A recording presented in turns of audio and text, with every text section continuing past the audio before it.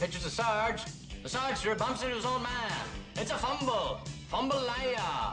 Sarge Fumbleina Wilkerson fumbles the ball.